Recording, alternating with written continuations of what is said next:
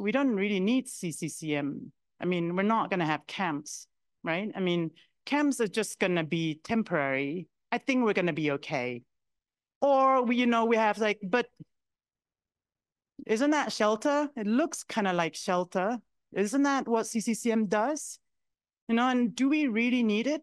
Or we get called in and go like, oh my God, people in the sites are so angry right now with all the distribution. Can you now come and fix it? You know, or it's kind of like, no, the government doesn't want to talk about camp. I think it's better we don't have a cluster with a name with camps twice in it. So, and and I think we all face this challenge of um, putting or raising awareness on the CCCM framework, what we do, and why it's so vital for displaced communities, and why it's so important for national and local authorities to have a framework and clear roles and responsibilities on how to work and support people at risk as well as those who've already been displaced, whether it's temporary or it's for protected um, situations. At times, it feels like, why should we advocate for us to exist? But I think what we're seeing more and more the from the ISC review um, and you know from a lot more requests that we're receiving is that more people are understanding what the sector does.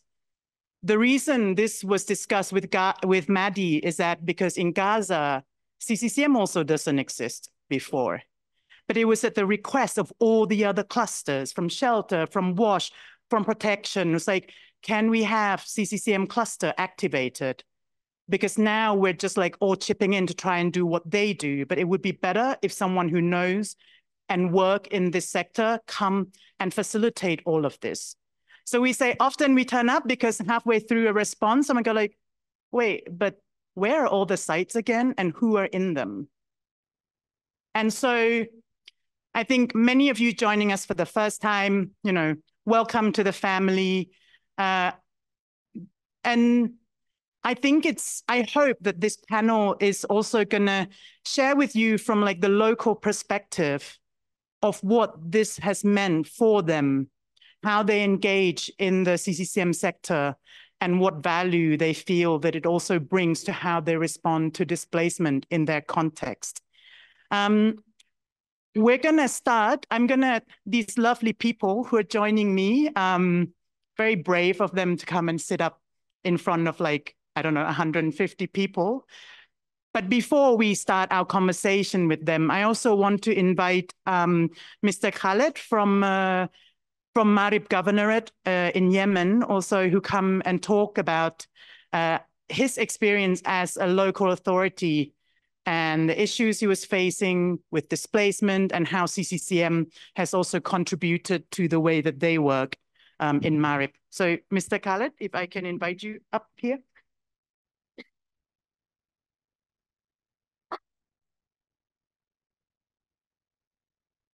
Thank you. So we we have, um, we have our colleague from IOM Yemen also who's going to translate for us. Thanks. آه، طبعا في البداية صباح الخير جميعا آه، بداية أنا أعتذر عن ال- آه، عدم القدرة على التحدث باللغة الإنجليزية. آه، لغتي ليست ولا بد لكثرة الانشغال لكني بدأت حقيقة في تعلم اللغة العربية الإنجليزية. طبعا أنا اسمي الدكتور خالد ناصر. أنا أعمل مساعدا للوحدة التنفيذية لإدارة مخيمات النازحين في محافظة مارب. ال- وهذا زميلي ياسر الشميري هو منسق كلستر إدارة وتنسيق المخيمات في محافظة مأرب. الوحدة التنفيذية آه، هي جهة رسمية إنسانية تهتم بالعمل الإنساني والنزوح آه، في اليمن بشكل عام ومنها محافظة مأرب بشكل خاص. Um, good morning, everyone. Uh, first of all, please accept my sincere apologies for not speaking English, as I am so overwhelmed and I didn't have that much enough time to study more English, but it's one, one of my to-do lists to do. Um, my name is Khalid Nasser.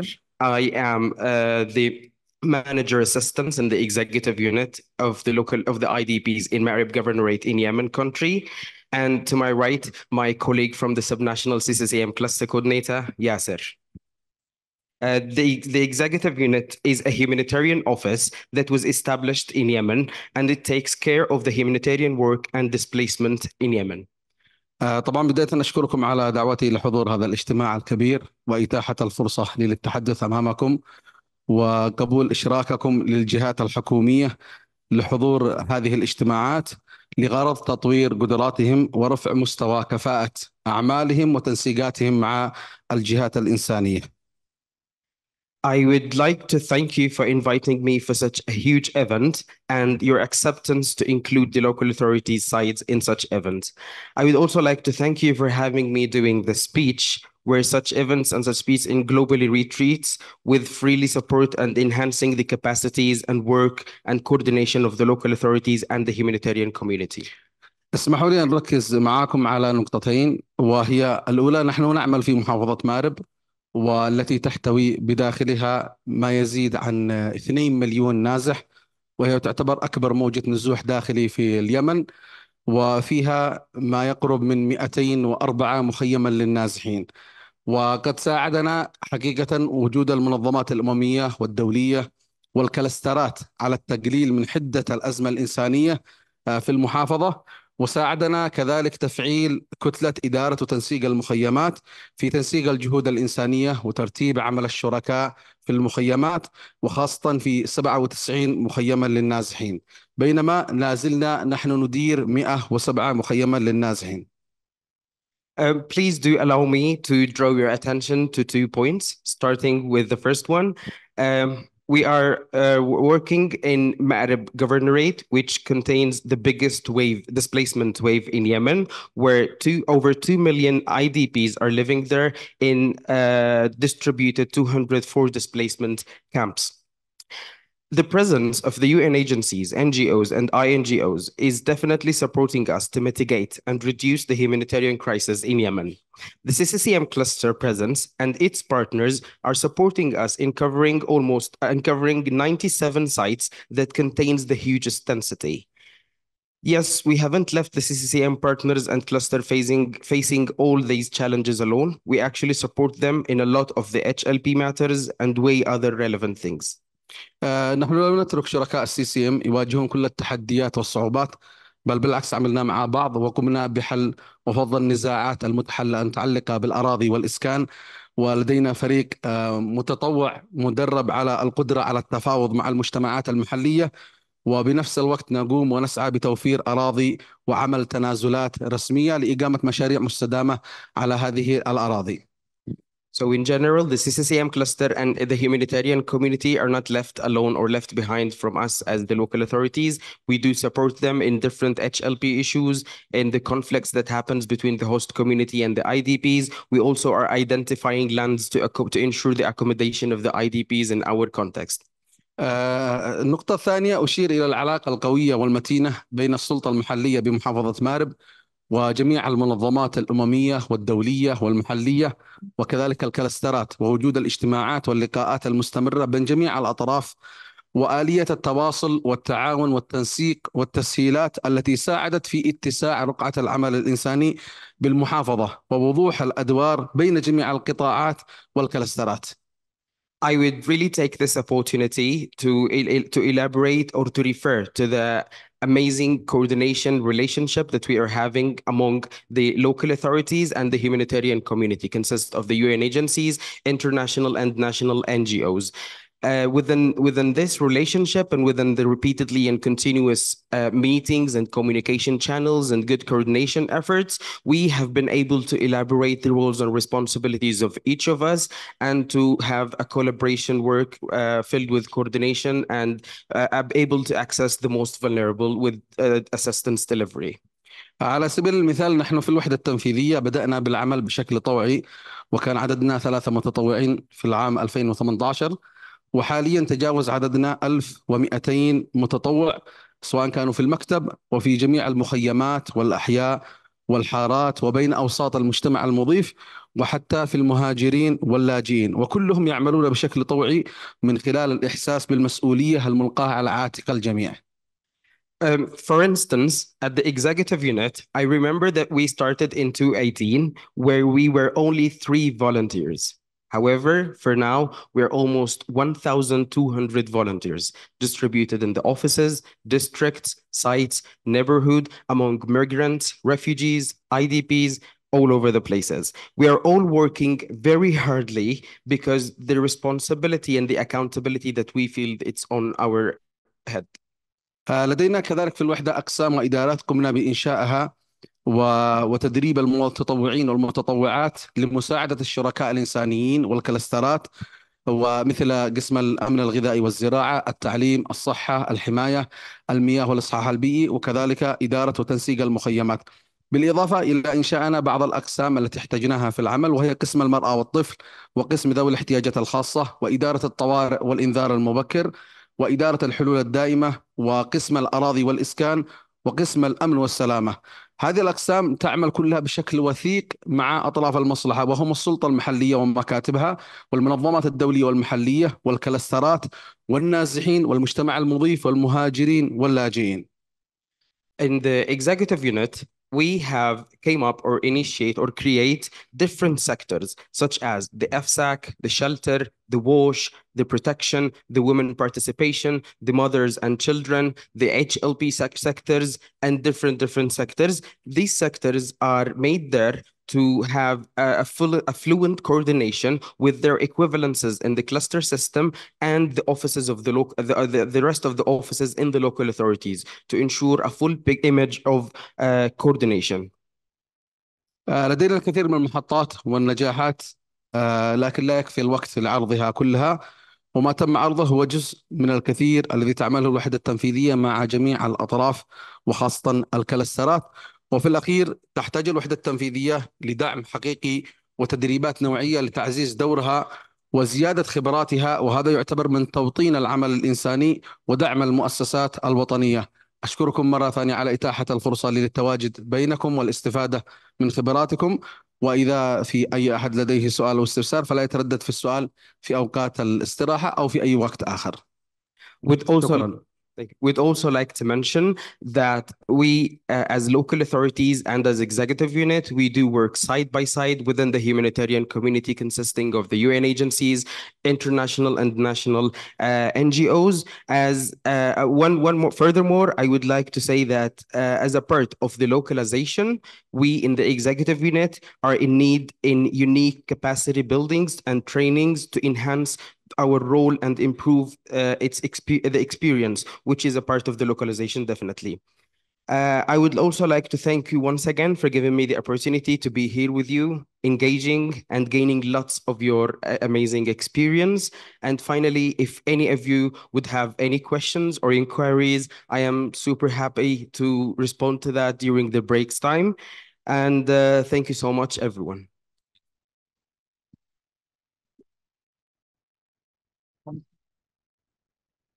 Thank you so much, Dr. Khaled, and uh, and also for the great translation um, as well.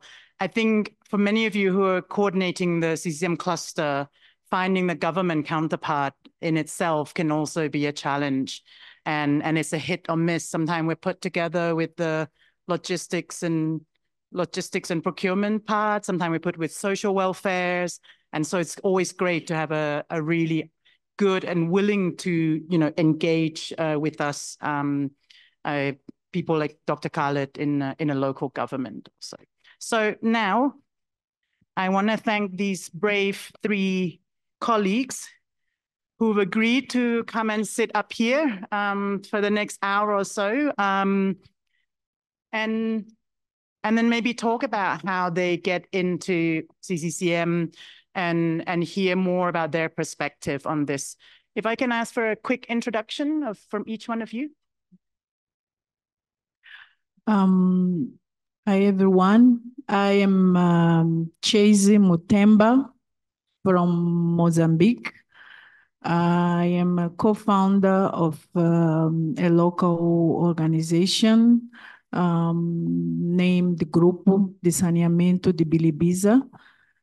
And um, I am excited to be here today uh, to have this opportunity to um, exchange experience, ideas, and learn from uh, a group that um, uh, is on community engagement.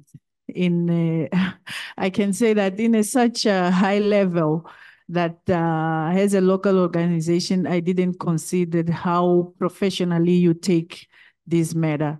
So I'm excited to be here and um, thank you.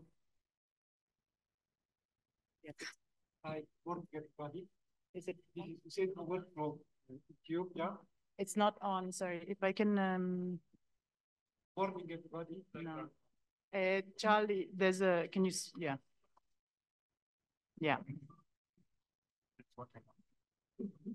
Hi, good morning everybody. This is Hussein Awal from Ethiopia, from national NGO called Action for the Needy in Ethiopia and uh, serving as uh, uh, CCM national co-coordinator with other uh, UN agencies on behalf of uh, all uh, national uh, NGOs working in the country. Thank you. Okay, um, thank you very much. Uh, my name's uh, Philip John, uh, the founder of uh, Care Aid in Nigeria. Uh, so we're in the CCCM sector, and um, can I ask a very simple question? Do we have national and local NGOs here? If you're here, please can you wave? Or stand up, please. Okay, yeah, you could stand up as well. So um, that's fine. So uh, we are here actually together. I'm not sitting here alone, so we are together with you. So feel free to to add up to what we actually do. So uh, Care Aid works in uh, the CCCM uh, sector in Nigeria, uh, in the Northeast, uh, basically, and I happen to be part of the strategic advisory group for Nigeria, representing the national NGO. Thank you. We'll talk more later. Thanks. Um, Hussein, if I can come to you first, if you can share with us a little bit, like how you come to know CCCM. I don't know how far you aware of Ethiopia. Uh, Ethiopia is uh, a population with uh, more than 100 million uh, and a vast country with vast uh, culture. Since the last uh, four or so years, the displacement uh, happening in the country, especially in the year 2020, where the site management uh, support was initiated uh, uh, because of the conflict in the south part of the country. Then, following that uh, performance, the government initiated uh, CCM the cluster as a standalone uh, cluster. Uh, at the very beginning, the CCM site management uh, support was implemented by IOM and the UNHCR. There were no uh, uh, uh, national partners implementing CCM or supporting the IDPs as a whole.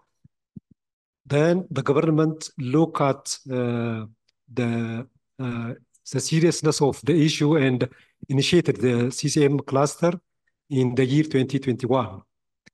Uh, then, following this initiation, the uh, my organization, Action for the Needy in Ethiopia, came to the picture, and uh, I'm uh, fortunate uh, appointed to uh, co-lead the CCM cluster with IOM and and uh, uh, UNHCR. Since then, I believe we do a great job with all these guys. Thank you. Um, Philip John, do you, I mean, you also sit on the like the community engagement forum uh, reference group, right? Yes.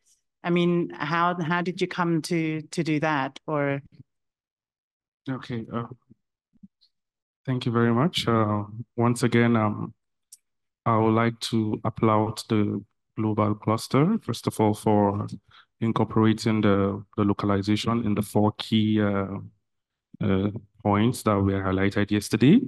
Um, this is a great work, um, and we feel uh, we're included in all the process. So Um, for us in Nigeria, uh, uh, the government uh, leads the sector.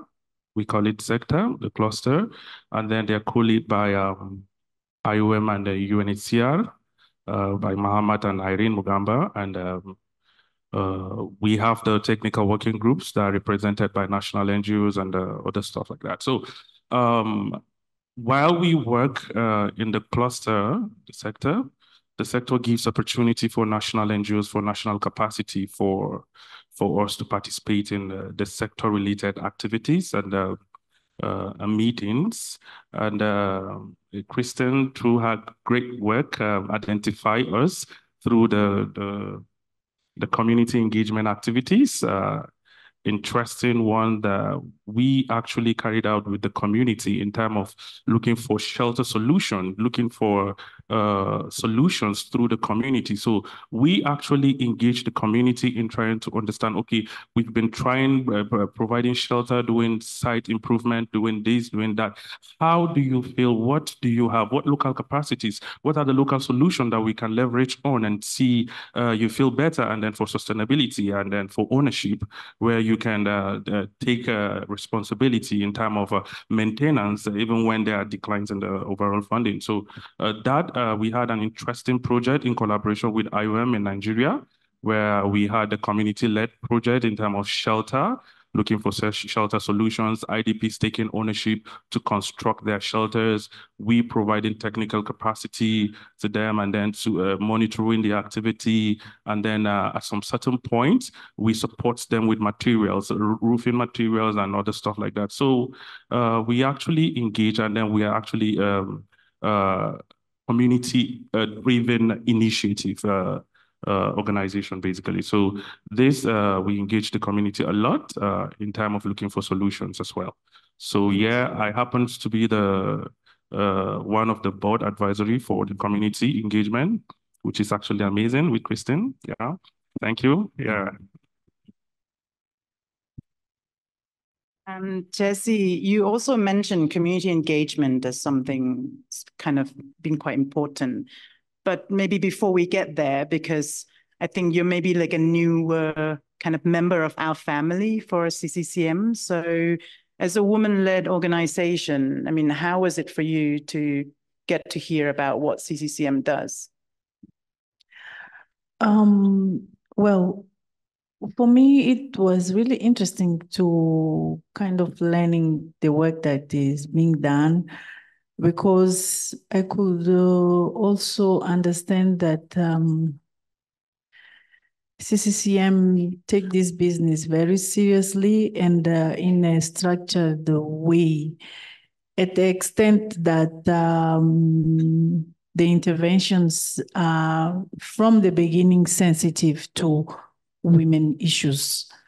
So I see this as, uh, as an opportunity to support better this group and uh, their interests and uh, as well as an opportunity to, as a woman-led organization, as an opportunity to grow and um, to have a uh, chance to have this uh, capacitation on how to address, uh, for instance, gender-based uh, violence, how to mainstream um, gender in uh, each interventions, how to consider um, other minority groups or vulnerable groups such as um, youth, children, because I think the way you were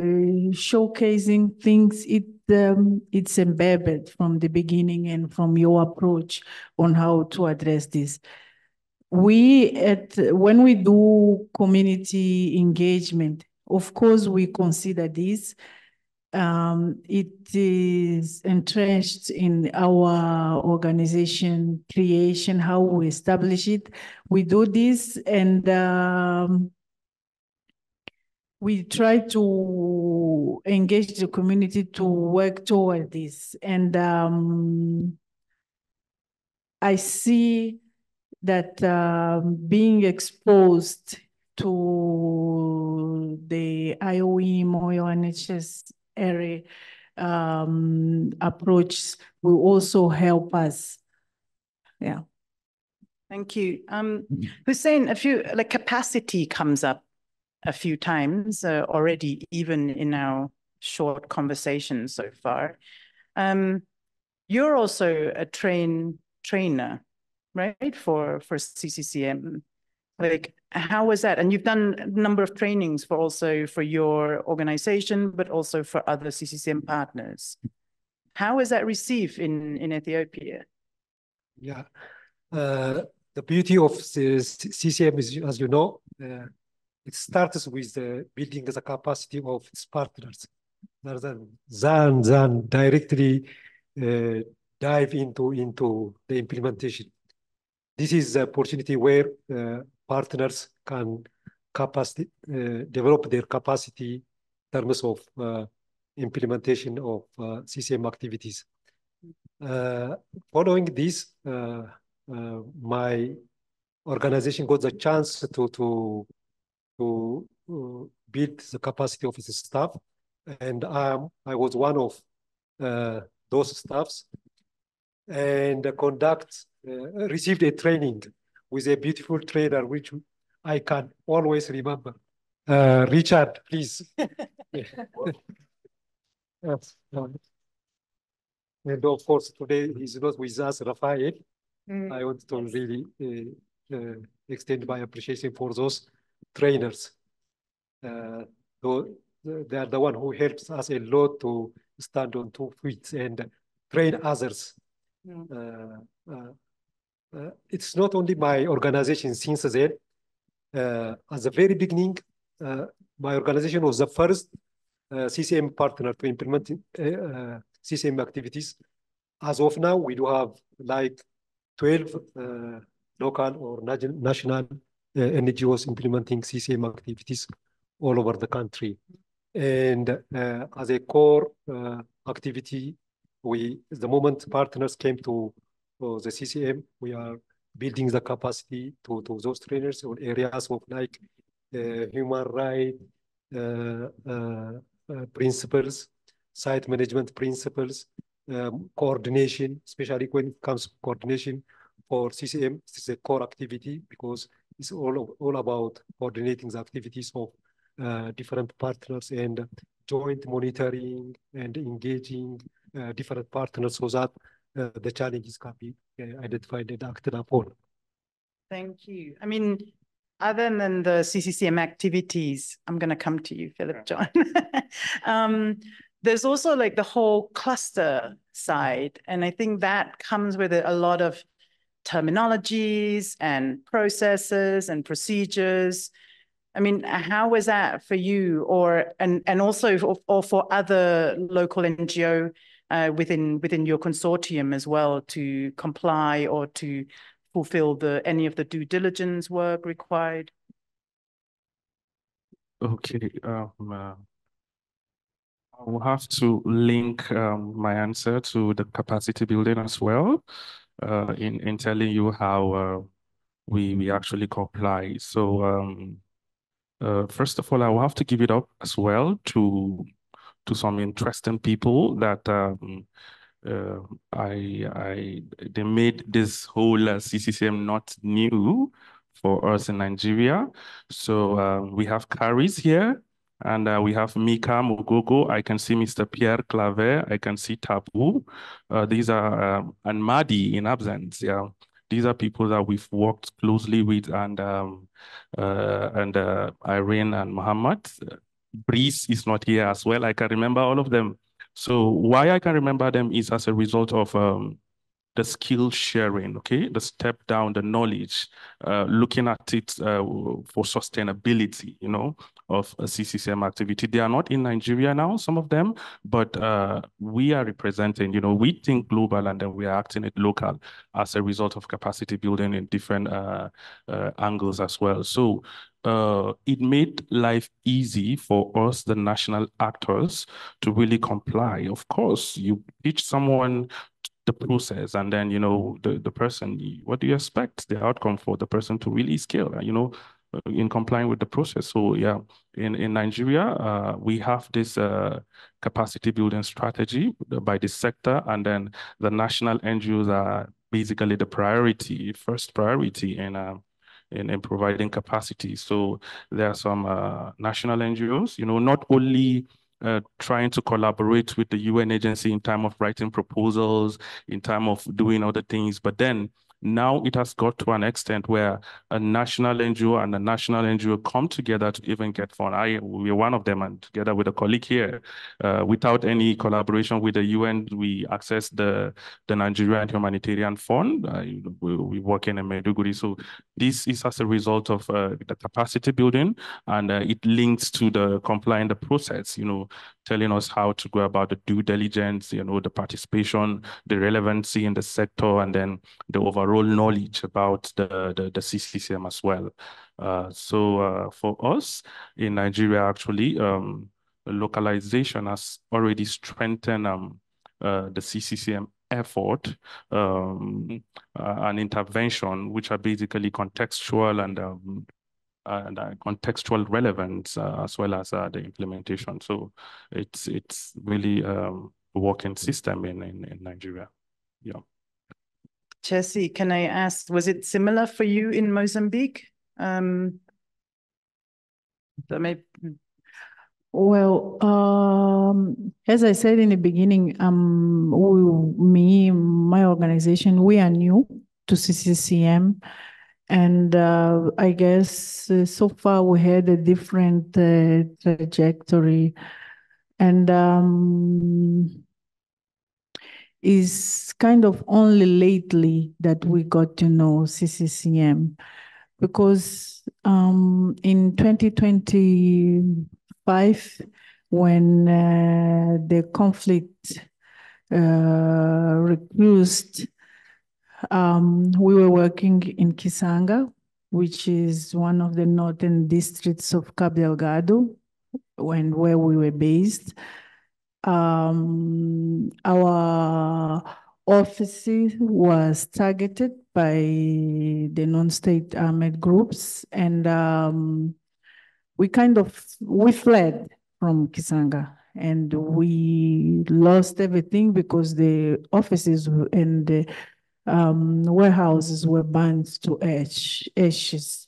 And we went to Pemba, which is the capital of Cabo Delgado province. And there uh, we found it very difficult to start over as an uh, local organizations. We were also displaced. We lost most of our colleagues uh, most of our collaborators and volunteers, some disappeared and we don't know about them so far. And when we reached Pemba, um, some of the people from Quissanga that had the, our contacts, they started reach, uh, reaching out and uh, requesting for support. Some were at the camp, some were at the host communities.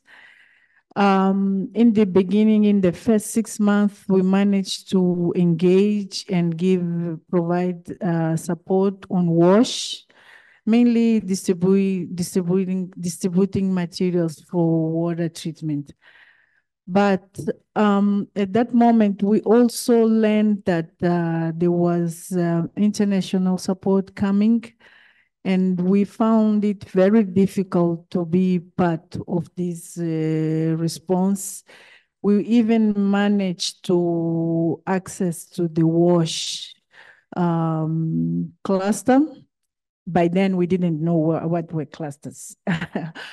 and uh, we managed to do that. But uh, even being there, we realized that we were not linked and maybe the interests of the international agencies that were there were not to work with local organizations, but to see how they could they coordinate the response among themselves. And um, we also learned that the when requesting res, uh, support to,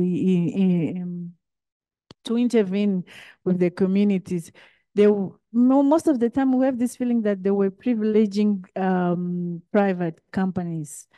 And uh, I, we of course understand why, but uh, there was not this linkage to local organizations. And if there were the so-called local organizations, they were not local local because there were organizations from the national level, many of them coming from Maputo. They didn't know the reality. Maputo is it's uh, the capital of the country and it's in the southern region. And in terms of uh, cultural language difference are very huge. And uh, this is how we felt that maybe if the engagement with the community was done through local, real local organization, it would have been more helpful. Yeah. And we also consider ourselves as a local organization, but we were also displaced at a sense. Yeah, thank you. Thank you, Chelsea. Um, Hussein, I mean, I I was there when we started the CCCM cluster in in Ethiopia, more or less, or before we start. But like you said, you mentioned there was no national partner in CCCM. So hearing what Jesse is saying, now that you're there as a co-coordinator, like how do you engage more or how do you welcome other national or local partners to join the cluster as well?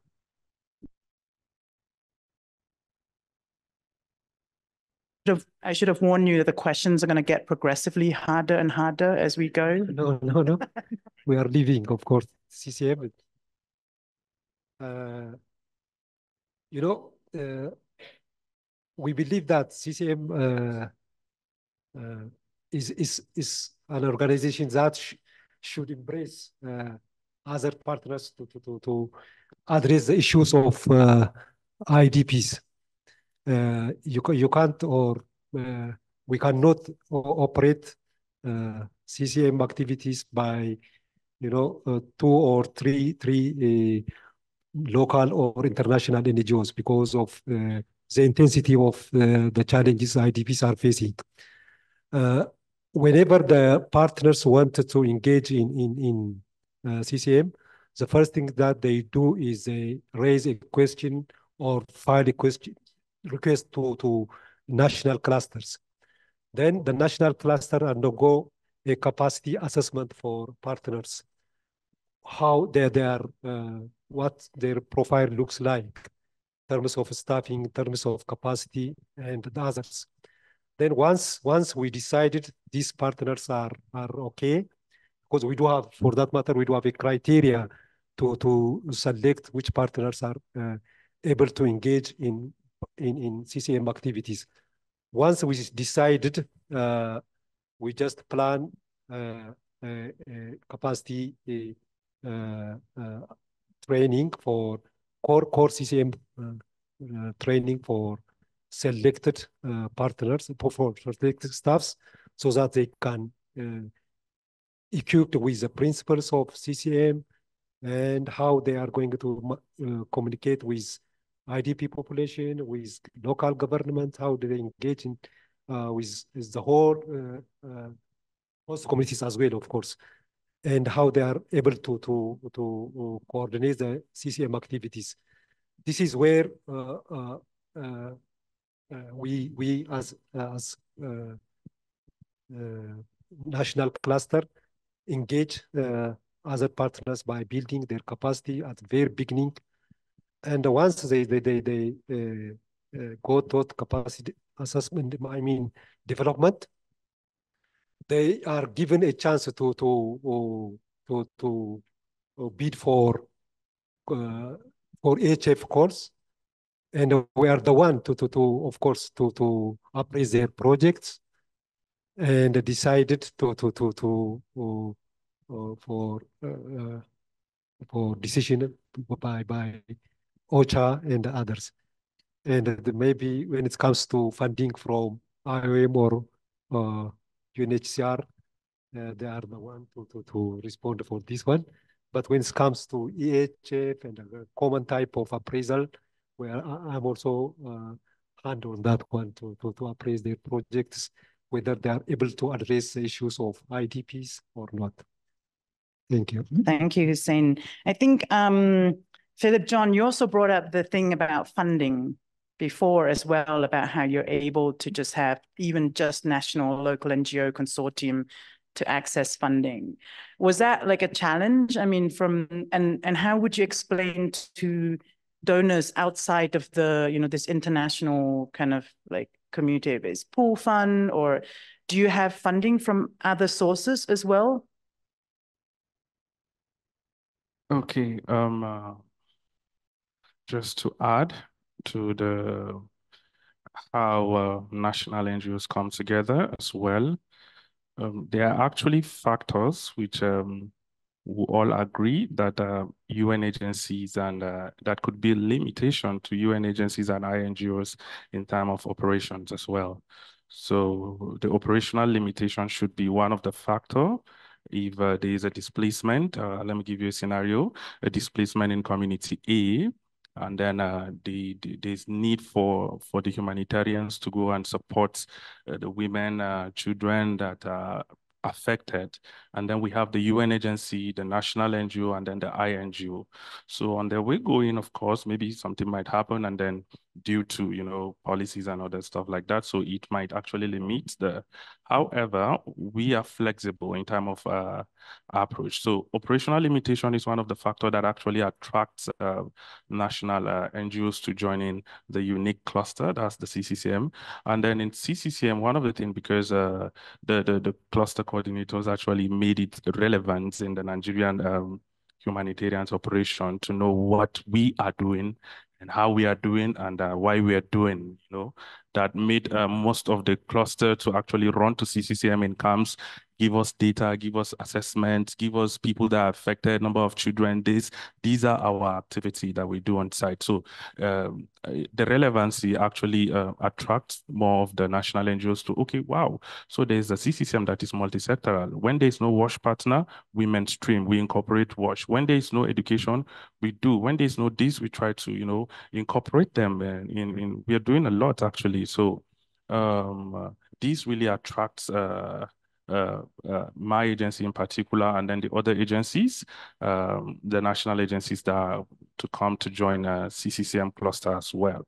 So in terms of funding, at first it was really challenging due to the stringent process you know, to to get funding, for example, from BHA, it's like a nightmare to us to get funding from the pool, like the processes and all that. But um, uh, due to some of the capacity building in place. And then um, uh, we advocated through the cluster, like I, I, always give it up for the cluster as well. And OCHA, the localization uh, person, focal person in Nigeria, they're actually doing a great job.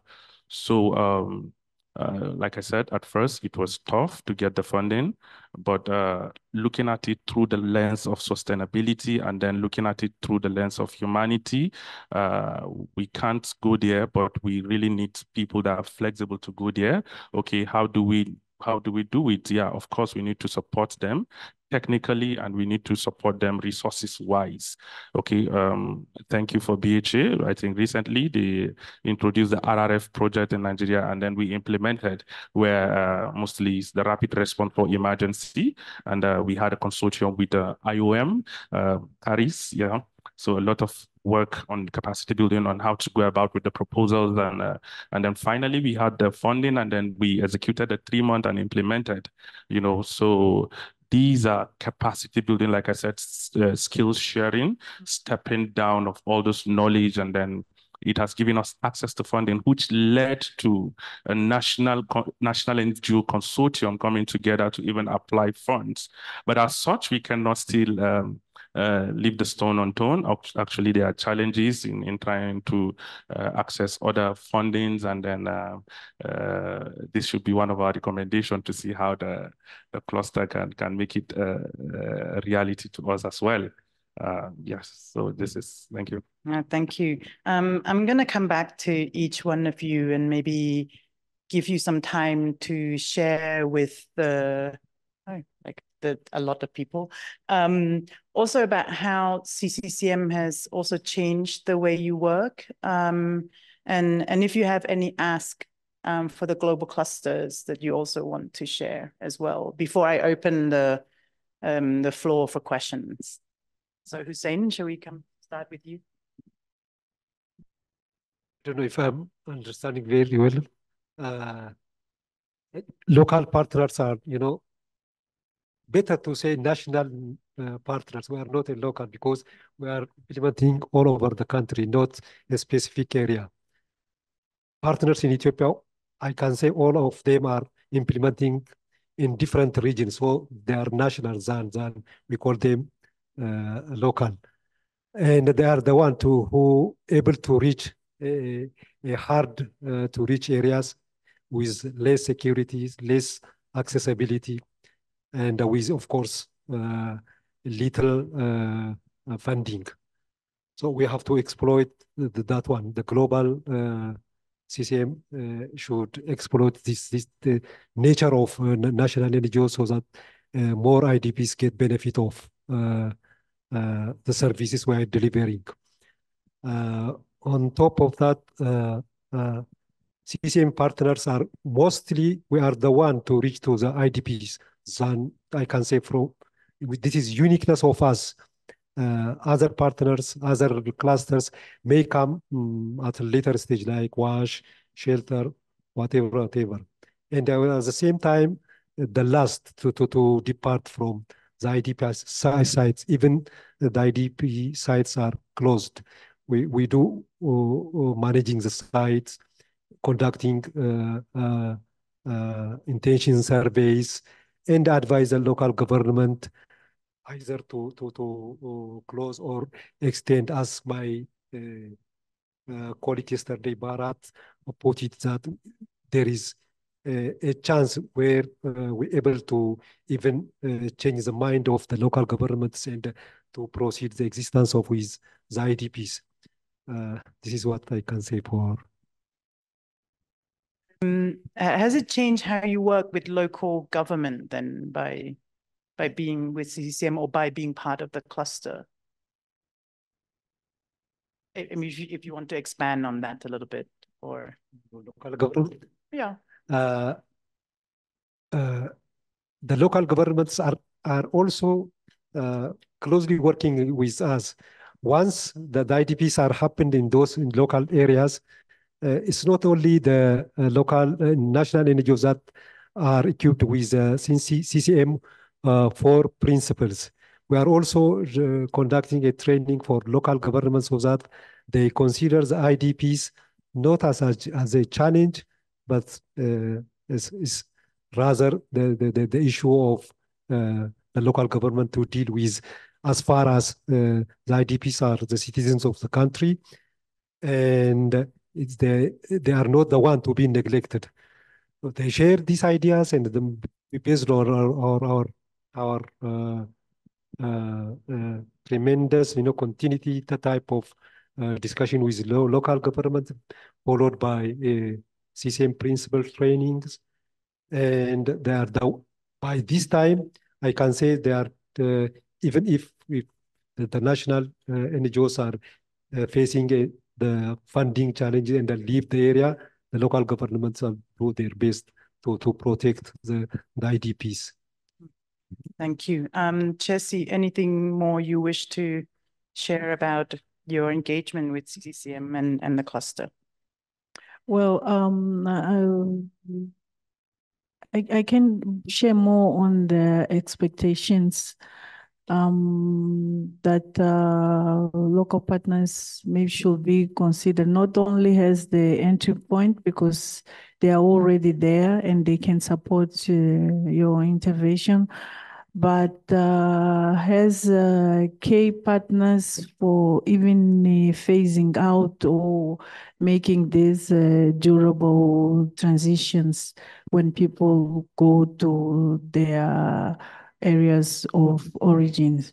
And uh, with all this capacity that could have been uh, built during this process, local partners can even be more, more, they have more strength to continue doing their work because I see that uh, many of the local partners before the emergency might be doing some might be doing uh, development work, but even this development work, the way I see how it structures is part of the different clusters. So it's important to to strengthen and enhance in this potential of the local partners. Thank you. And Philip John, do you want to add anything else before we open for some questions?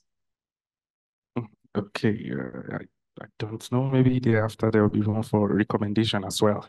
Yeah, but uh, yes, working in the CCCM cluster has really changed the way we work. Um, unlike other sectors, um, we are also organization for persons with for disability, and then we also work in other sectors like cash working groups and other sectors like that. So um, CCCM mostly is driven by the needs and the priority of the affected population. So you have to involve the community in getting to know what their needs are and then how you could just uh, tailor your intervention to supporting them.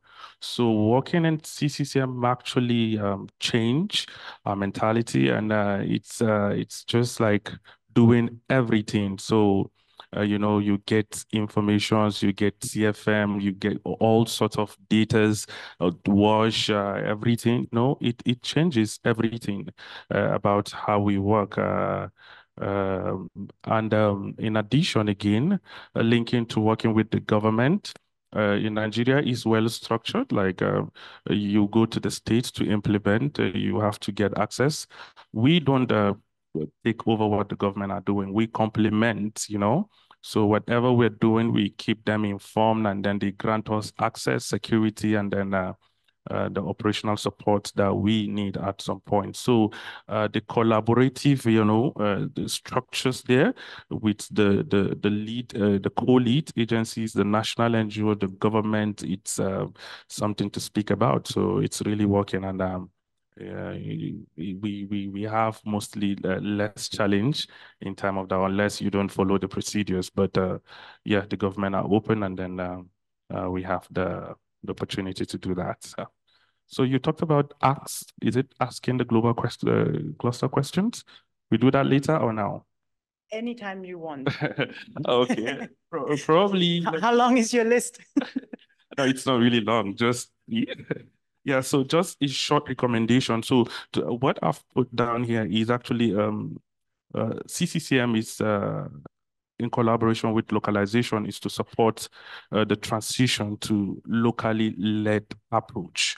I think uh, we could agree with that uh, to see how we could uh, uh, local uh, led initiatives, you know, it will really help in terms of um, solution and um, also um, maybe in some country where they are, you know, they're local NGOs, but they don't know about the CCCM. I think it's an opportunity to create ways for for local NGOs or national NGOs to to come to the cluster and see how they can uh, be engaged as well and and support uh, looking at it from the sustainability perspective, and also a capacity support. Uh, I think in uh, we do even in Nigeria we don't only do the capacity building to the CCCM, but other uh, sector members. You know, invite them to you know build their capacity on what we do. You know, data you can get from us, informations about the the exciting CCCM activity. You know, uh, we have all the information of a particular site, and we coordinate um, um, activities on site. So we have some exciting uh, tools that could help us get some information. So, and then uh, the, the, collaboration, I recommend also to see how we can do that in terms of uh, skill sharing. And then uh, the, the mega one is resource allocation, actually. So we could do that to support. Uh, uh, we are very cost effective, you know. yes, yeah. So uh, uh, give us and we'll do it actually. so so this is it. I'll, I'll come later to the act. So we're good. Thank thank you very much, uh, Philip John. Um, we have about 20 minutes no, half an hour actually, I think for um to take some questions from from any of you really. So Emmy, shall we start with you? And and I will come to you. We have uh, other microphones. Hello, it's Amy from CCCM Mozambique. Um, first of all, thank you everyone, and it's such a pleasure for me to see Jesse here um, talking. Uh, we work together in Mozambique. Um, I want to ask actually something like a follow-up to the last question that one asked. Um, I think oftentimes we have um, tendency to assume the risk appetite of the local organizations in our proposals, or sometimes we put risky places for operation, um, assuming that we will be able to find a local organization that will be um, willing to work in those areas. Um, and you already touched on safety and security issues a bit, and you all work in conflict affected zones. Um, I'm wondering if working with CCCM or clusters or UN agencies change your um, risk uh, perception and put extra pressure on you in any sense um, to get more funding, to, to be able to part of the system, basically. Um, and what do you need from this um, mechanisms more to support you for um, those kind of uh, maybe challenges? Thank you.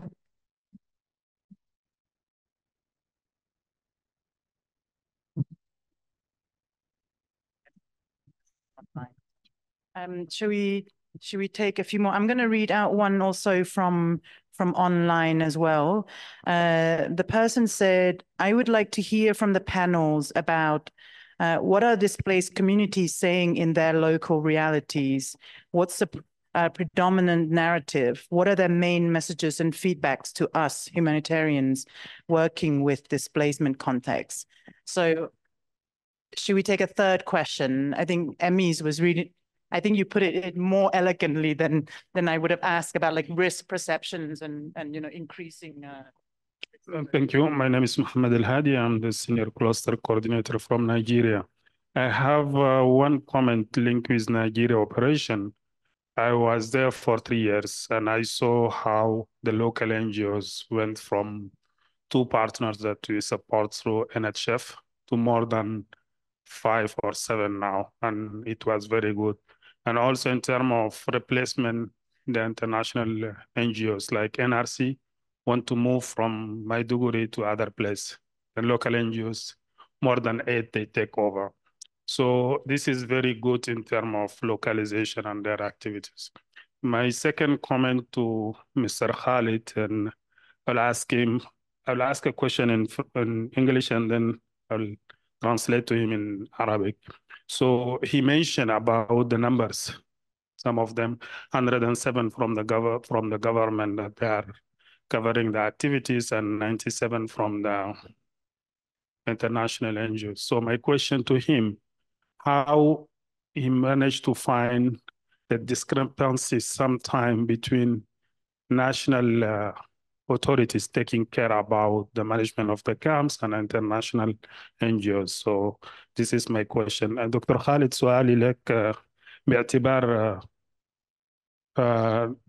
إدارة 107 مخيم خلال من من الحكومة و 97 من المنظمات الإنسانية. ما هو الفارق بين إدارة هؤلاء بصورة عامة 97 و 107 مخيم من خلال الخدمات التي تقدم لهذه المخيمات؟ وشكرا. Um, can we can we maybe come to which one of you feel like any of the question? Okay. Um well, from my perspective of a local local organization, I would say that um in terms of uh, support. I'm, I'm, I'm trying to address Emmy's question.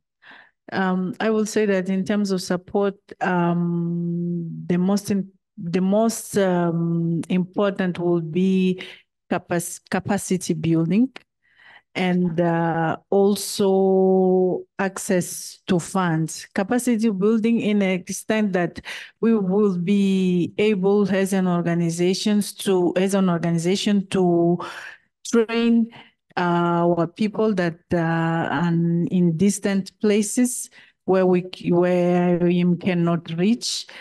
For instance, I'm talking about Quissanga where we are because we do have people that remain there although there's this uh, security issue. But if you were able to train them on um, CCCM language, on training them about on uh, how to assess and map the situation and uh, design and approach of response, this will be helpful. And also, if uh, the access to funds for such kind of, of an intervention will be done in a fast way or in a rapid way, I don't think this is the concept. It would uh, also be helpful. And I guess that the CCCM cluster would be would be of assistance in supporting us in this sense. You still have your microphone not? I lost it.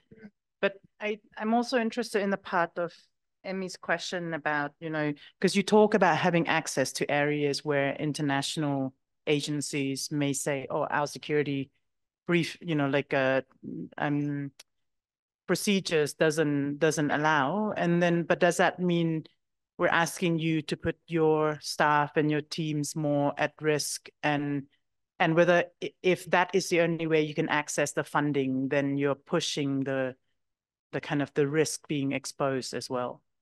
You Hussein? okay. All right. Um so aside from the programmatic aspects of um capacity building in terms of proposals and whatever. Um, yeah, to be honest, you know, national NGOs need capacity building institutionally, you know, and um, part of what um, IOM and um, other partners are doing in Nigeria is to come to your office, uh, ask for some certain document, like see some opportunities to develop policies, risks analysis on how to go about. So accessing the funding, like I said, we think global and then we act local. So uh, in the funding, we are not actually pushing ourselves to, to risks. Why? If that community A, if for instance, an UN agency can't go there, you know, transferring the risks to a local NGO, we have our own approach. We can go um, community-based staff from there if we can access, you know, there are approaches that we could use, deploy in place to actually ensure that we deliver assistance. So uh, looking at that again, the, um, the likelihood of you know risks and other stuff like that have been addressed and um, they strengthen the institution the organization we have. Like uh, in the inception we don't have quite a number of policies but um, now with the capacity building the risk analysis okay if today you're going to community a and then this happen attack how do you need to deliver you know? Okay then okay this is our strategy and other stuff like that. I wouldn't say it here. Maybe we could have a chat later so that we could talk but then these are some of the approaches we we apply in terms of uh, uh, uh, our operations uh, related to to risks. So I don't know. Maybe there are other national NGOs that can contribute. But in addition to the second question, you talked about feedback. Um, we receive as CCCM, we receive feedbacks through the mechanism in place and on site and then uh, other things. So most of the feedbacks is engage us engage the community engage the community engage the community. It makes life easy. It makes your project uh, go well in terms of uh, acceptability uh, you know implementation. So the feedback is engage us. Okay? You can't um, from the assessment program proposal engage the community. So when you engage the community, you know, you have it also. That is uh, majorly the feedbacks we're getting uh, from our sides. Yeah, thank you. Just to add on what my friend said is that when it comes to uh, uh, funding and and I mean uh, working with the community at very grassroots level, we are not, of course, compromising the safety of our staff. Uh, rather, we look at different approaches like working with, with uh, grassroots uh, organizations like uh, women organization, youth organization in those uh, particular areas, or through religious organization with churches, with, with mosques, depending on the area. Uh, we are not, uh, on top of this, we also uh, recruit staffs from those areas so that they can talk the same um, language, share their culture and other other practices. they, they feel they are not, I mean, treated from um, other body that came from different areas so that we can uh, easily implemented the CCM activities. Uh, this is one. Uh, uh when it comes to the, the, second question that I, I feel that you, the, how the IDPs consider uh, CCM, or, for me, really, they consider CCM not as partner, rather as friends, because uh, we are always there uh, if you take the other other partners, for instance, food, they're distributing food, then after a month or uh, come back after a month or two. We're every day managing the site, hearing the, the, the challenges of the IDPs, live the, the, their life, and share their, their concerns. At the end of the day, uh, whenever they feel the challenge from like different clusters, wash, shelter, and other things, they came to us and uh, talked to us to no we lack uh, we lack uh, our our shelter is roofing is taken by wind. Uh, uh, these all things are come to us and they we try to link those those, those uh, issues to different clusters as well.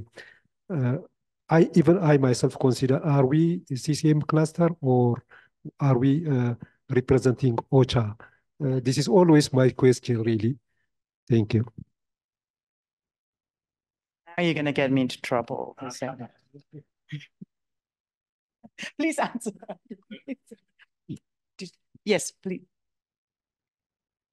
I will talk in, in French. You can take your...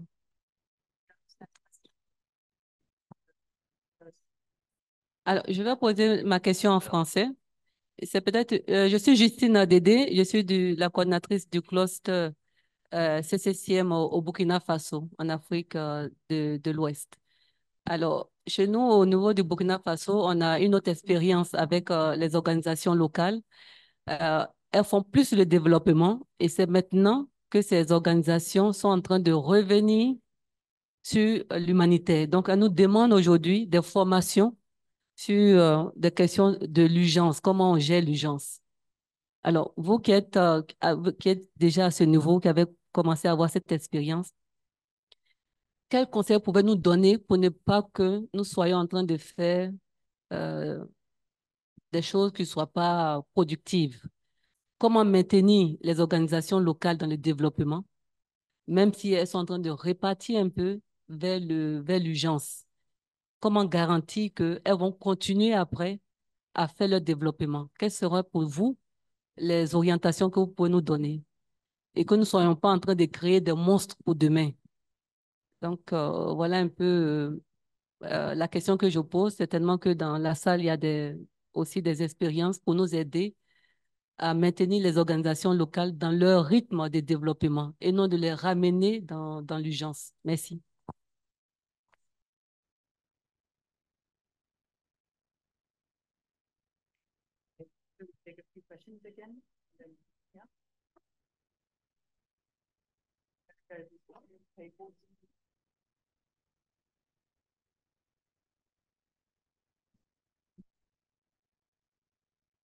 Uh, thank you uh, for the uh, interactive session. So uh, we heard more about uh, uh, Hussein, from Hussein and Khalid that how they found CCCM and how it helped and uh, had uh, great impacts.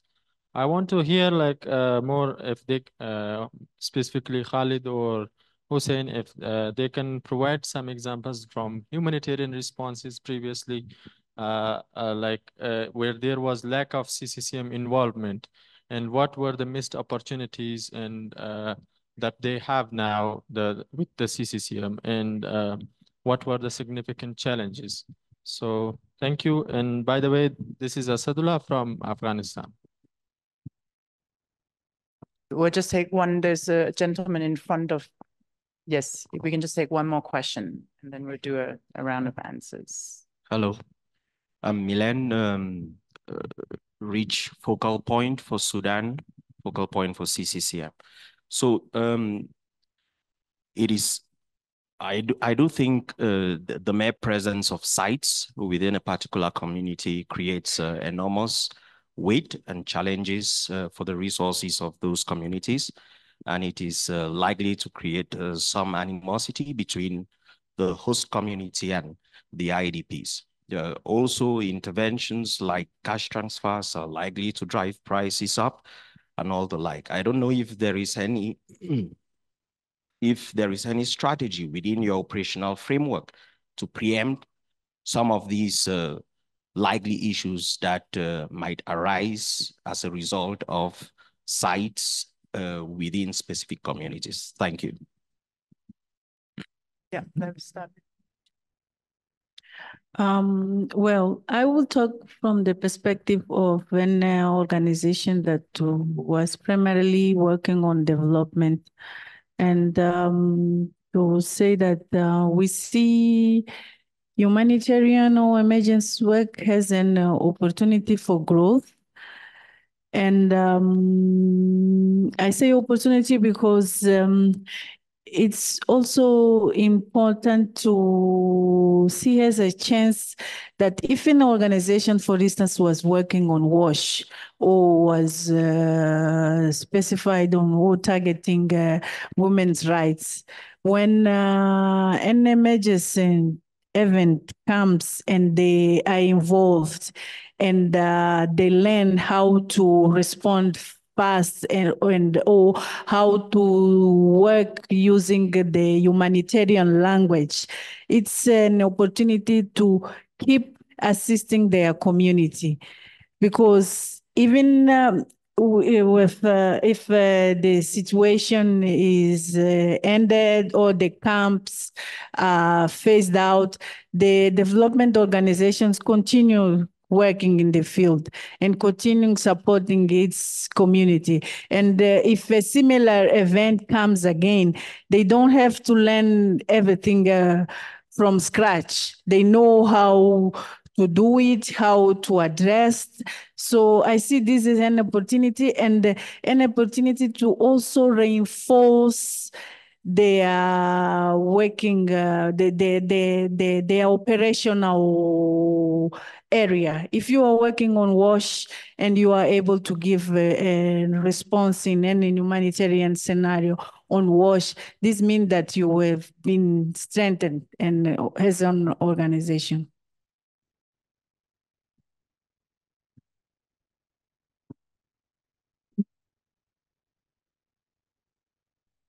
Okay.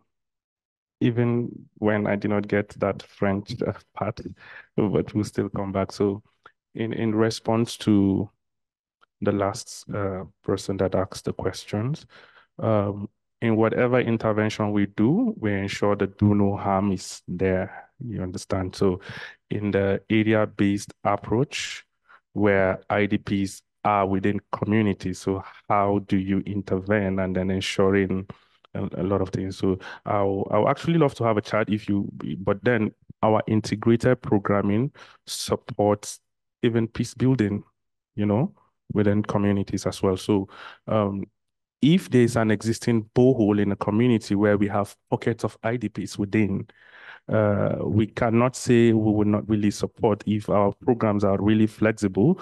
We could, um, through the integrated programming, uh, you know, rehabilitate the borehole. Now, our target, primary target is the IDPs and then the community as well. So you see, there won't be any issue. IDP can have access to water community. So uh, uh, our program actually, you know, is multi-sectoral. So it uh, it promotes a lot, you know, have a big component of the peace building of the, you know, so there are a lot. So that's it's just an example and on how we go about ensuring um, coexistence between the IDPs and community and then um, um, the, the community itself. And then we do uh, initiate this monthly meeting, you know, area-based LCG, local coordination meeting, you know, by, by OCHA. And then we see how those communities and IDPs come, we share, uh, you know, experiences. If there are other gaps, you know, we might not really have everything to do, but uh, one of our strong uh,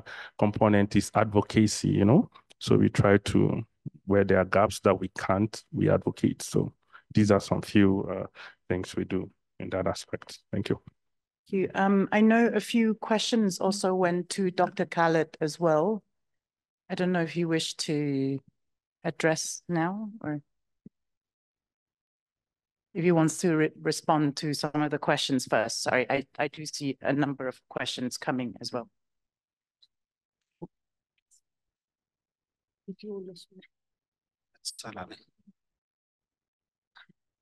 آه، طبعا ال- السؤال الذي سأله الأستاذ محمد.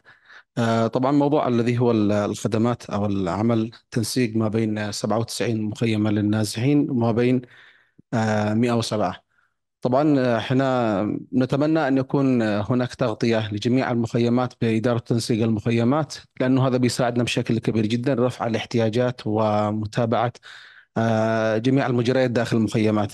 نظرا لقل التمويلات الإنسانية لم تقدر المنظمات إلا على تغطية 97 وتبقت 107 آه، نقوم نحن بإدارتها.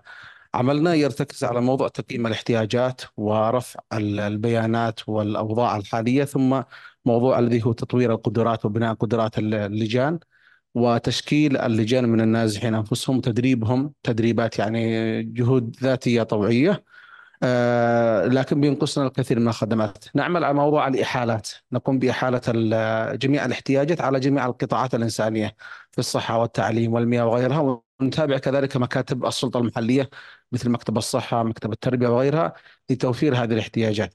المنظمات الشغالة في السبعة وتسعين لديها يعني آه، جهود آه، خاصة في موضوع تقليل المخاطر وموضوع الذي هو صيانة آه، خدمات الصيانة ورفع القدرات وبناء قدرات العامل هناك. نحن نعمل مثل عملية الرفع لكن لا يوجد لدينا دعم أو تمويلات نقدر على ضوءها تغطية احتياجات هؤلاء النازحين. وإنما نقوم بعملية يعني سد الفجوة ومتابعة الجهات حتى يقوموا بتغطيتها. شكرا. Um, for the question of uh, how do we do with the 107 sites that are not covered by CCCM partners, unlike the 97 sites?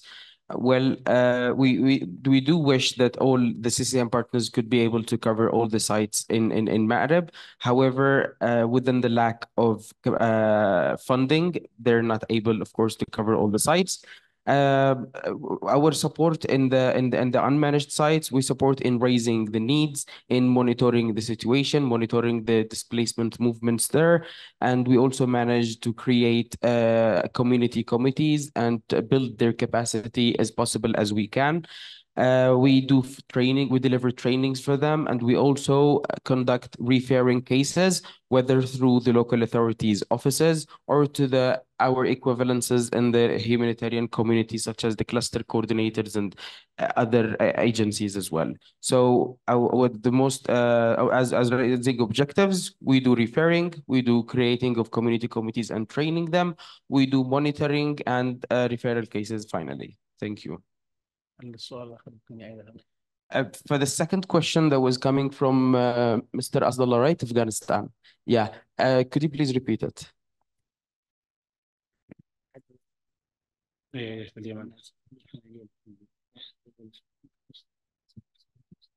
So, uh, as we heard a lot about uh, uh, the importance of CCCM and how uh, Khalid uh, explained that they how, how they explored CCCM and how it has a great impact currently on the humanitarian responses. So I was just asking, like uh, previously, while they were not, uh, uh, they didn't explore the CCCM.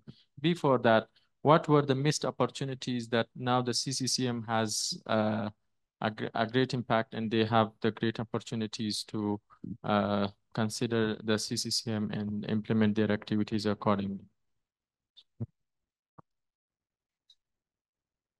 Translate to him. مش توظف السي ام خالص كيف كان ال- ال- الوضع وايش الاشياء بالضبط اللي استفدتوها اول ما جه السي ام كيف قدر يغير السياق كيف لاحظتوا من السياق تغير إيش الحاجات اللي اضافها من الناحيه الايجابيه طبعا آه، قبل عمل السي سي ام ودخول السي سي ام سواء كانت الكلستر الكتلة أو حتى شركاء السي سي ام كان ال- ال- الحمل ملقاه على عاتق السلطة المحلية وكان يحصل هناك بعض التلخبطات كذلك في ازدواجية في موضوع التدخلات وتكرار للمساعدة الإنسانية.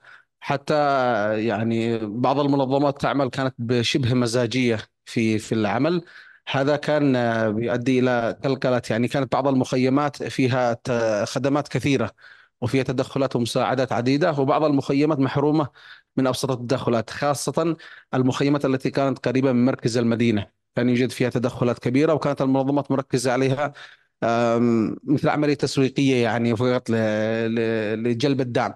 لكن مع وجود الكلسترات ووجود السي سي ام قمنا بتنظيم الأعمال وقامت المنظمات بعمل اجتماعات. آه، صحيح واجهنا صعوبات شوية في بعض المؤسسات المحلية في عدم التزامها بالتنسيق الإنساني لكننا ألزمنا جميع الشركاء الموجودين يعني في مارب بأن يكونوا تحت ظل القطاعات الإنسانية وأن يكون في تنسيق مع الكتل أول بأول، هذا ساعدنا طبعا في اولا وضوح الاحتياجات ومتابعة المنظمات ومنع ازدواجية التدخلات وتركيز على الفئات الأشد احتياجا.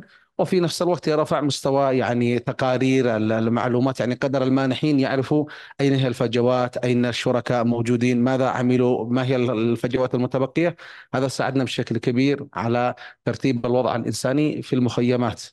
ولكن لا زال الاحتياج يعني حقيقة لا زال احتياج كبير جدا والمنظمات الموجودة عملت جهود ممتازة مشكورة عليها لكن لا زالت فجوة الإنسانية كبيرة جدا خاصة مع تراجع الدعم الإنساني والتمويل لليمن Um, th- thank you for the question. Uh, before the CCCM comes actually, and before we start, uh, CCM start approaches uh, its intervention, I'm speaking as a cluster and as a partners. The all the responsibility was on us as local authorities and executive unit, which was pretty hard for us as we our capacity wasn't on that level yet. So the issues that we were facing for example, for instance, were like overlapping in the interventions among the humanitarian community itself, uh, having unfair delivery of assistance, where some of the sites used to have a lot of services and others were just left behind, especially the sites in, in the middle of the city used to be covered because it's easy for the, the humanitarian actor to go into the city and deliver service and take some pictures for that. Um, some some also some some national organizations we were facing a lot of challenges with with them while their capacity wasn't that uh, big to to to start understanding the matter of the import or the importance of participating in coordination meetings and in collaborative work. However once the cccm arrived we start uh, supporting them and pushing the national partners, pushing everyone to participate in their uh, coordination meetings and in their coordination system in general, which has led to uh, clarifying the interventions by everyone, avoid overlapping, and uh, finally demonstrate the roles and responsibilities of each and every actor in the humanitarian and local authorities community. Um, I, I also I would like to note that needs are still there and with, within the funding shrinks in Yemen, uh, we're not able, neither us nor the humanitarian community, we're not able to cover all the needs. Needs remain there, huge, and we are still working on advocating for, for funds and working side by side on this with the humanitarian community. Thank you.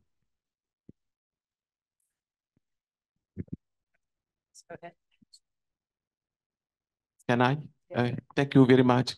I would like to talk a little bit about uh, local association. It is like uh, we are forgetting about uh, the local association comparing to local organization because they are not registered only. They are not registered, it's why we are not considering them. But uh, in fact, they are a strong organization at the local level. Uh, for example, when we are listening to the case of Mozambique, it said that organizations are moving from the south to the north. But in reality, they are foreigners. They are not really from that location. They have a language barrier, etc., etc. So local associations are very important also. When you go to villages, particularly in Africa, uh, the villages are well organized. They have the chief. We have the a female association, teachers association, parent association, etc., etc. So there are some uh, structures on the ground at the local level which CCCM can rely on and do better their activities. Thank you. Thank you so much. And one last one from Pierre Claver. Yeah, thank you, Juan. Um, uh, we are talking about uh, localization. And um, one of the challenge that we have is access to funds and uh, also uh, to fund yourselves. Hmm?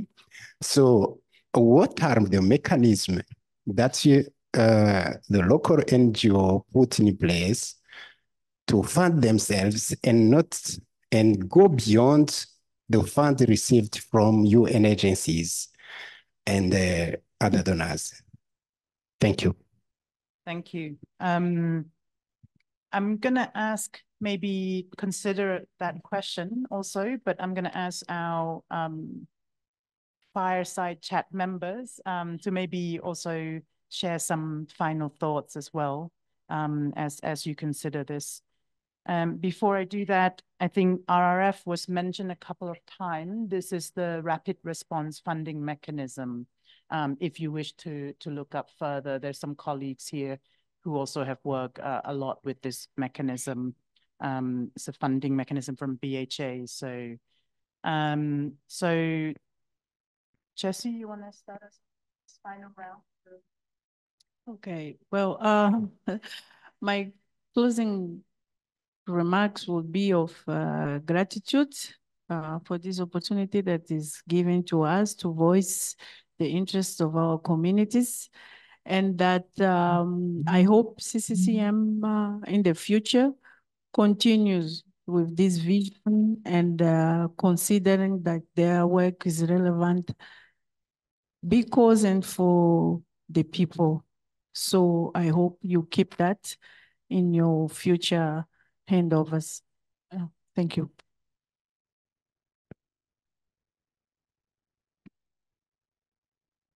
Uh, yes, uh, fun, fun, funding this time is a, a, great challenge for humanitarian partners, including including the national NGOs. Or our source was, you know, EHF, IOM, RRF associate, and in some cases, uh, uh, different uh, donor agencies. Uh, now, nowadays, the the the the, the, the door is, uh, if not closed, it is very narrow to to to uh, get it or to exploit. Uh, even though even though uh, in Ethiopia localization came into picture and the local NGOs are given a chance to exploit like 30% of uh, the, the, the humanitarian funding uh, need to be for national NGOs. In practice, nowadays, uh, it's getting uh, very low, even though uh, the, our effort is, is still there. but the same thing is coupled by, in our case, the government is already pushing for, for returnees and relocations, meaning that uh, the IDP caseload is, is to some extent is getting uh, reduced uh, so that uh, by the same proportionate, the funding we are looking is also uh, uh, getting reduced. however, thanks to the localization, we are even able to, to, to get those 30% or the uh, uh, national CCM partners are to some extent still on board uh, in, in very hard to reach areas. I think that that is what I can say. And we are proud of, of course, proud of what we are implementing so far. Uh, in terms of protecting the IDPs, in terms of assisting the IDPs. for like through to uh, three years. And now uh, it's natural to get at some point uh, uh, shortage of fund is wherever in the globe. Uh, this is what I'm saying. All right. Um, thank you for the last chance. All right. Um, um first, uh, uh, to the colleague over there regarding uh, the registration, I think um, donors or agencies um, actually recognized registered um, organizations uh, to actually partner with them and um, to see opportunity in building their capacity, uh, as in the case of Nigeria as well. So there are processes. First is your registrations and um, uh, sectors, clusters presence, and then activities, and then your financial auditing, and as well as a lot of things like that. So when you don't have that, you try to go and look for places where uh, such. But however, it's still a recommendation for for us that are here to see how we could actually encourage the national actors from not going to such places, but rather stay and register and then uh, see how they can work and support the community as well to actually mitigate the the challenges faced on the other side in terms of uh, barriers and other stuff like that. So it really helps a lot. So um, um so uh, the, the the solution is basically lies within that uh, country country based solutions that will help a lot. Um, uh, secondly, in coming to Mr. Pierre uh, question, yeah, at first for a national organization to be within the cluster, or for you to the startup is quite tough to see how um, um, you can operate as well. But first, while um, identifying with the sector, aside from getting funding from the donors, yeah, there's um, other private sectors, self contributions from you know, and then volunteering, uh, you know. Those are some things that we do in order to keep ourselves relevant in the sector and to see how um, from the success of our implementation, how we could use such to really advocate for funding. So those are some modalities we do in terms of seeing how we can self-fund ourselves. CareAid in Nigeria self-fund itself for like two years in the sector and the sector give out uh, stockpiles of items. You know, those are some strategic way of testing how accountable you are and, uh, you know, give you items, go and distribute, you know, so you do that, you fund the logistics and then you go do them and come back with results, pictures, movies and other stuff like that. So that kept us relevance and then, uh, okay, yeah, fine. So what do you have? There are issues there. We raise assessment reports and then the sector see how the component of resource mobilization really flagged and then uh, we get um, external support. So th that is it, uh, one. So the, the last, uh, yeah, yeah. So um, the, the, the acts that you mentioned earlier, from from last year, I think uh, the global sector, uh, the cluster are actually doing well in terms of seeing uh, paying attention to localization, which is very good. And then I think I have from the last year some keynotes that I take. Uh, one um, you know, it's uh, you, you, know they talked about flipping flipping the chat to actions. So one of it, uh, the system in place at the global level, I think it's a localization task force. So maybe it would help us to see how uh, uh one and the, the second uh, is the the thematic working group actually i think from the findings of last year it it has been captured and then the, the, the last one, I think I still have here, we had a discussion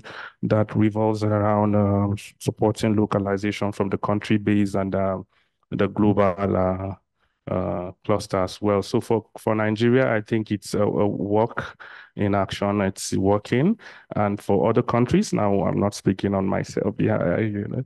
So for other countries like, uh, you know, Mozambique, you know, that we can reach out to them having this um, a representation that deals with different countries and, and so it could really help a lot. Lastly, okay, I think yeah.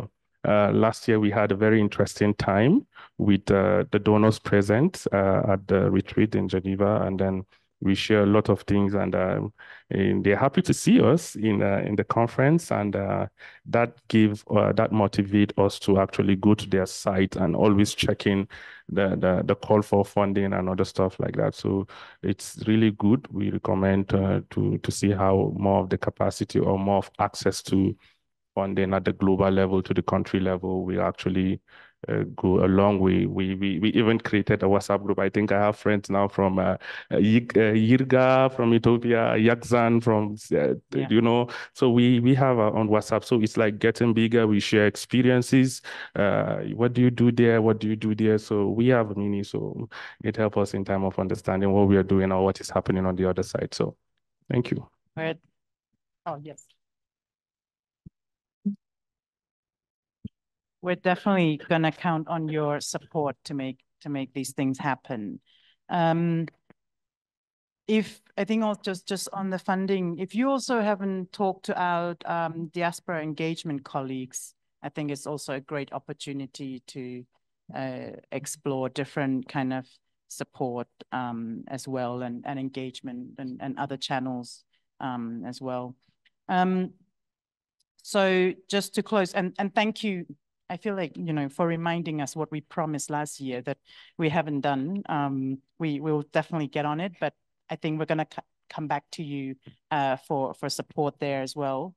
Um, I want to just in closing, I, I want to thank um, our panel members, also Dr. Khalid and, and our colleagues for, for the translation.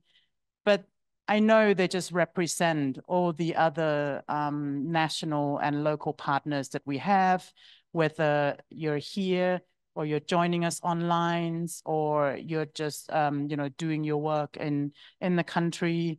I mean, your strength inspires, I think, to do what we're doing. Um, and I want to do like a big shout out to all the trainers sitting here and joining online and in other places in the world. I think you make all the difference. And I think CCCM is such a special sector that, you know, our biggest commodity are the people in it. And I think the trainers, and I think it's not surprised that people remember who their trainers were, because I think you make such a difference to how they're responding to displacement. So a big thank you and a big pat on your back from me. Thank you.